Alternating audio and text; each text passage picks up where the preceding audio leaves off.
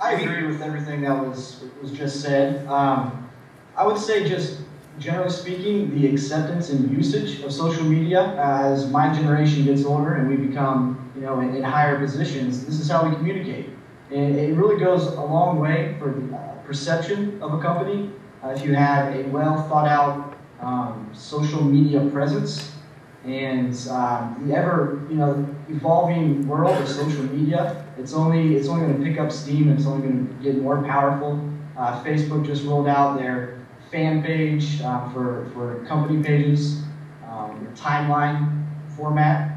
And I just honestly think the acceptance and usage of social media is only going to get stronger and keep growing, and more and more people are going to communicate through social media.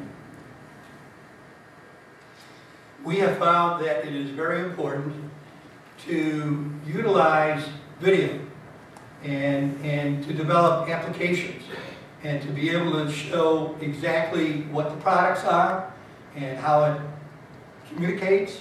And we have developed different sized rooms and different acoustic areas indoors and out. And people go and they will see useful, beneficial, educational information that they can use. And so it's really, it's animating. And it, it, it would be, so the people then, therefore, begin to communicate with each other about, well, the size of my room is thus, the ceilings are thus, we've got windows, glass, metal, and we've got a variety of variables that go into making acoustics work in a particular situation. So, the more people that we get online communicating with each other, the better we will be. And the more people that have examples of what they have done online, we know that this will continue to develop and propel and accelerate sales. But it's, we have found also there is, there, there's, there's price points beyond which they won't invest online and they require a human chat, a human touch. And we enable them to do that. So I think the ideal that we would like to see, uh, everybody knows the company Intuit, they actually, their service is now performed by their users because they're on a social network where they communicate with each other about what this issue and problem is. And they're really, Intuit is there really as moderators, not as the developer.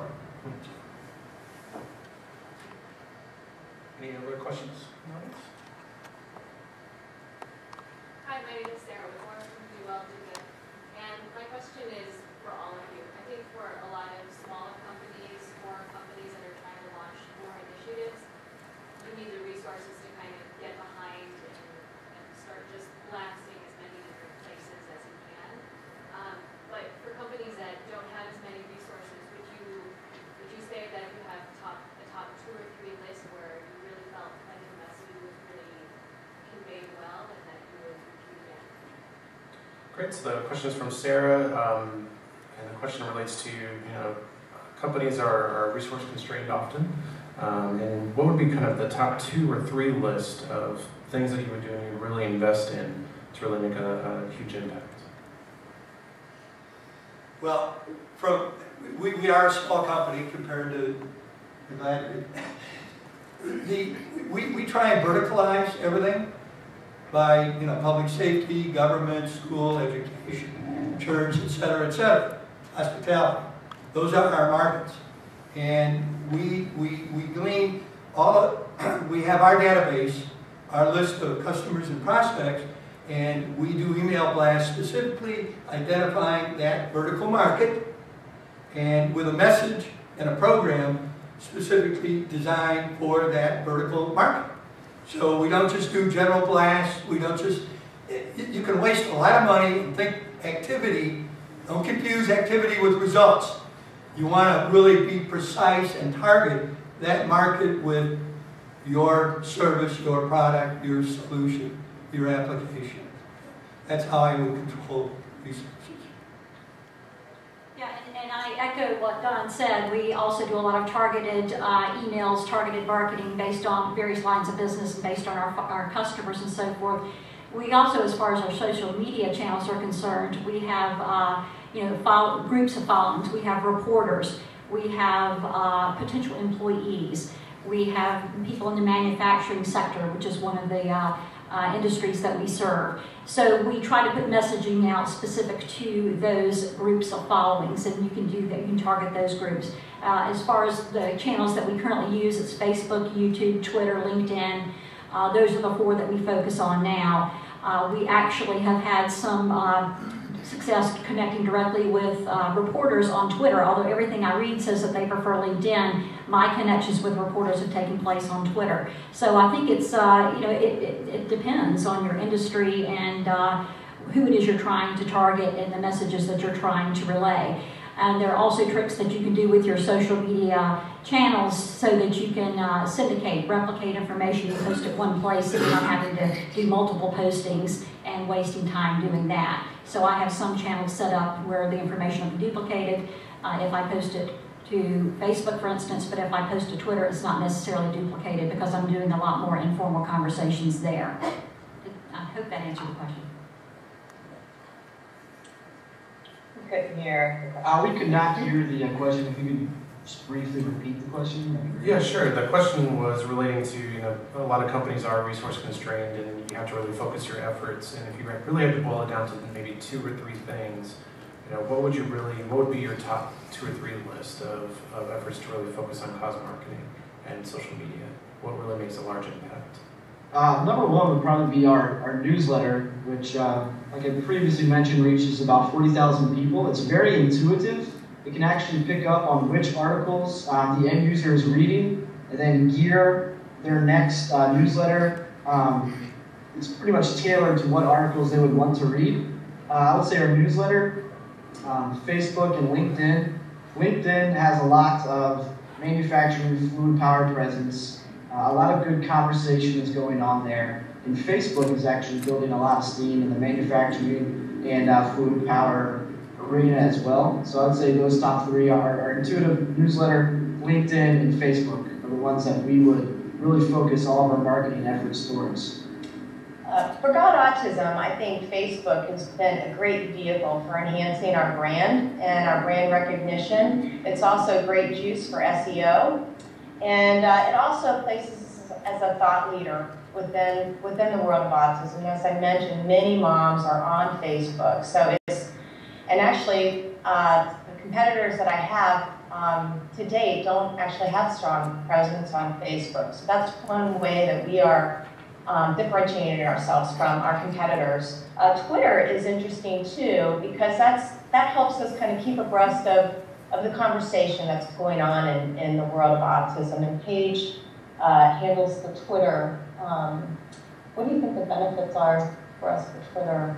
Uh, I think the biggest benefit for Twitter is it's an easy way for parents to ask other parents how they're handling a situation, and we can be in on that and and without being too pushy in sales, um, suggest a product that we have that might help them with that particular situation. So it's easy to give a quick solution, quick how-to, and really stay on top of what the industry needs are so we can we can tailor our product line to the parents' needs.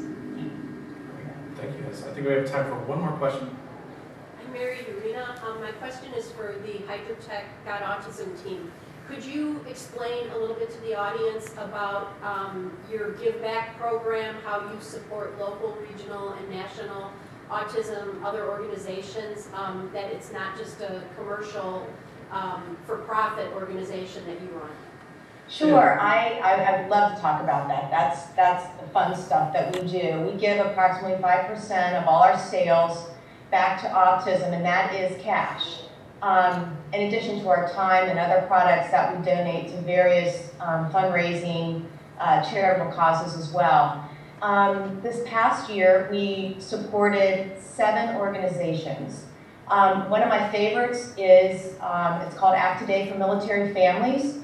Um, if you've been watching the news, recently the CDC came out and said that one in 88 children in the United States will be diagnosed with an autism spectrum disorder. That ratio is um, a lot higher in the US military. Nobody really knows why.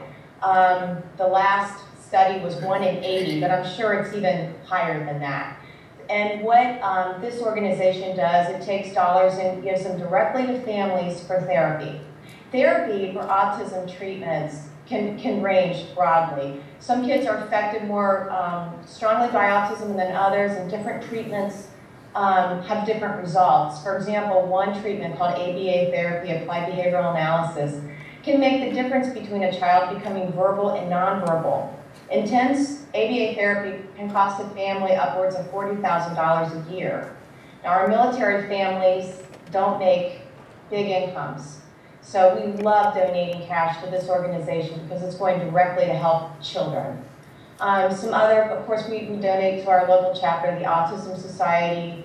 We donate to uh, a charter school here in Ohio that is specifically for kids with ADHD and Asperger who've kind of fallen through the cracks of their public school systems. Um, we donate to another organization here in Ohio called Four Paws for Abilities, and they train autism service dogs.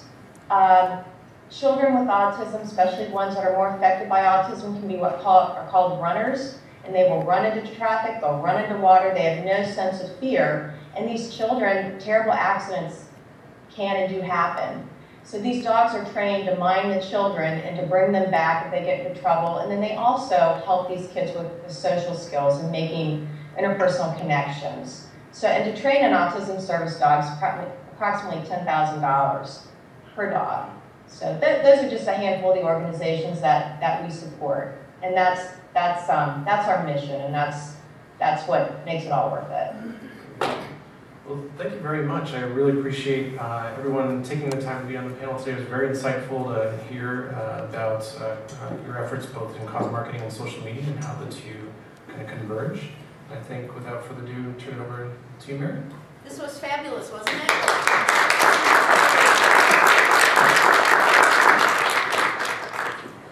Um, I'd like to thank you all for coming. I, I think this was great, and uh, I think we can all take away some lessons learned and, and, think towards our future of how we can integrate social media and cause marketing. Um, as we're wrapping up the BMA year, I just have a few announcements. We can't believe it's almost over. These BMA cycles for Marla and I go like the wind. Um, we have one more member dinner on April 24th in Winnetka one more luncheon on May 3rd, and the topic for that is work-life balance. I think we all need to be there. Um, BizBash is on May 8th, and that's our big annual fundraiser, and it's a great party. So please, please uh, try to attend that. Our final breakfast is on April, uh, May 16th, right? May 16th, and that's going to be um, focusing on social media and measurement.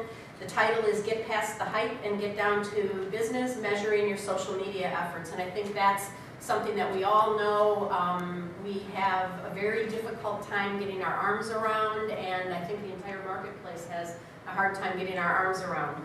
Um, May 30th to June 1st is our annual conference here in Chicago at the Swiss Hotel. If you have not attended the conference, it is a fabulous uh, couple days of programs and education. All the details are on the BMA Chicago website, so please go and, and dig into it and sign up. Um, the last thing I would ask is if you could please um, take your napkins and cups and deposit them in the garbage on your way out. That would help us. And thanks for coming.